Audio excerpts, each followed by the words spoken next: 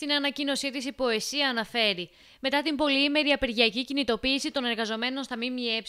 ενάντια στο ασφαλιστικό νομοσχέδιο Λεμιτόμο, την επιτυχημένη μέχρι σήμερα πορεία της απεργίας μας, η οποία απέδειξε τόσο τη συνοχή όσο και την αποφασιστικότητα του κλάδου συνολικά, αφού γραζόμενη την ανάγκη της κοινωνίας για έγκυρη, άμεση και αξιόπιστη ενημέρωση στις δύσκολες συγκυρίες που διανύει το σύνολο των εργαζομένων, των συνταξιούχων και των ανέργων, ύστερα από κοινή σύσκεψη της Ποεσή με τις ενώσεις μέλη της και άλλες ενώσεις που συμμετέχουν στις κινητοποιήσεις, το ΔΣ της Ποεσή αποφάσισε τη συνέχιση του αγώνα από τη Μεγάλη Τρίτη στις 5 το απόγευμα με την ακόλουθη μορφή. Για τις εφημερίδες, εκτεταμένη αναφορά στις επιπτώσεις του ασφαλιστικού νομοσχεδίου τόσο για τους εργαζόμενους στα ΜΜΕ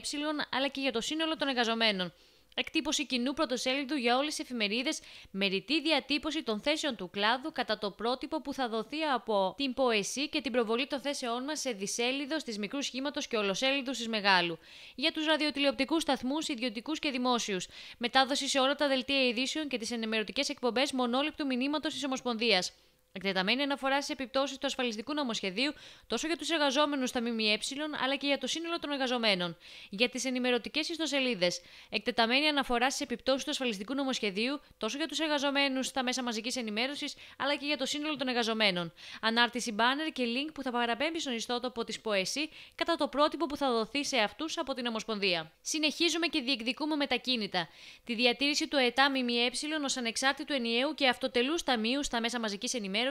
με ένταξη στην ασφάλιση του όλων των κατηγοριών εργαζομένων στα μέσα ενημέρωσης, τη διασφάλιση του αγγελιοσύμου με επέκτασή του στα διαδικτυακά ΜΜΕ ω πόρο χρηματοδότησης των ταμείων μας κύριας και επικουρικής ασφάλισης. Τη Μεγάλη Τετάρτη στις 12 το μεσημέρι πραγματοποιήθηκε και συνέντευξη τύπου του ΔΣ της ΠΟΕΣΥ και των Προέδρων των Ενώσεων, στην οποία για κατήγγυλαν ότι ο μοναδικός λόγος για τον οποίο πραγματοποιείται η ενοποίηση του Ταμείου των Δημοσιογράφων με το ΕΦΚΑ γίνεται με μόνο στόχο την αφαίρεση των αποθεματικών του Ταμείου που φτάνουν τα 1 δις ευρώ. Οι εκπρόσωποι πρόσθεσαν μάλιστα ότι το δημόσιο δεν έχει βάλει ποτέ ούτε ένα ευρώ στο Ταμείο των Δημοσιογράφων, ενώ σημείωσαν ότι ο συγκεκριμένος κλάδος έχει δεχτεί μαζί με τον κατασκευαστικό το μεγαλύτερο πλήγμα από όλους τους κλάδους εργασίας, ενώ αναφέρθηκαν και στην κατάργηση του αγγελιοσύμου και επισήμαναν ότι θα οδηγήσει στην κατάρρευση του κλάδου που θα επιφέρει και τρύπα αναλογιστικού ελλείμματος 1,8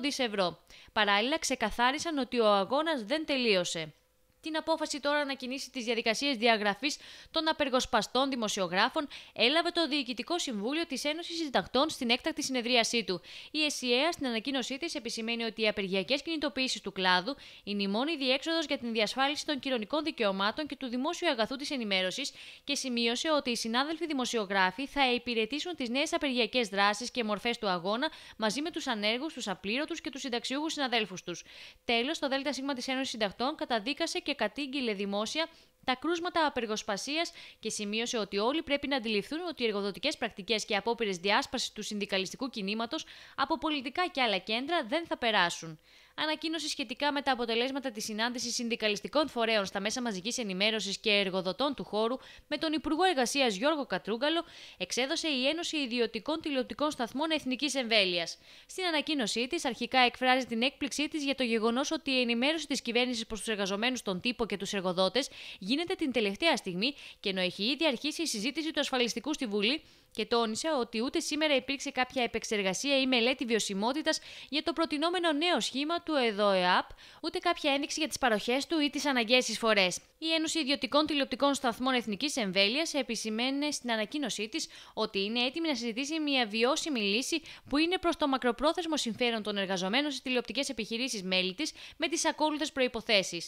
να πραγματοποιηθεί σε βάθος έλεγχος στο Ταμείο για να προσδιοριστούν τα οικονομικά μεγέθη και το κόστος λειτουργίας του, να προσκομιστούν οι αυτονόητες μελέτες, αναλογιστική κτλ. και να τεκμηριωθεί η βιωσιμότητα της όποιας πρότασης χρηματοδότησης, να υπάρξει συγκεκριμένη πρόταση χρηματοδότησης, να ασφαλιστεί το σύνολο του προσωπικού όλων των μέσων χωρίς εξαιρέσεις, οι παροχές του Ταμείου να είναι καλύτερες από αυτές που θα παρέχει ο ΕΠΗ και το ΕΤΑΠ, διαφορετικά δεν έχει νόημα η πρόταση συζήτηση. Οι επιπλέον παροχές να δικαιολογούν το επιπλέον κόστος. Στο κόστο λειτουργίας να συνεισφέρουν αναλογικά όλοι οι εργοδότες συμπεριλαμβανομένου και του διαδικτύου. Να διασφαλιστεί η ίσπραξη των εισφορών και να νομοθετηθεί το αναγκαίο πλαίσιο. Να διασφαλιστεί η σωστή διοίκηση και λειτουργία του Ταμείου με συμμετοχή και των εργοδοτών. Να ενημερώσει το Υπουργείο τι θα γίνει με τους εργαζόμενους και τις μέχρι τότε εισφορές τους σε περίπτωση που στο μέλλον το Ταμείο πάυσει να είναι βιώσιμο Τέλος, η ΕΤΙΣΕ σημείωσε ότι το Υπουργείο οφείλει να ενημερώσει άμεσα τους εργαζόμενους για το ποια πρόβλεψη έχει αναλάβει για την ιατροφαρμακευτική κάλυψη των εργαζομένων στον ΕΟΔΟΕΑΠ από την ημέρα ψήφισης του νομοσχεδίου στη Βουλή.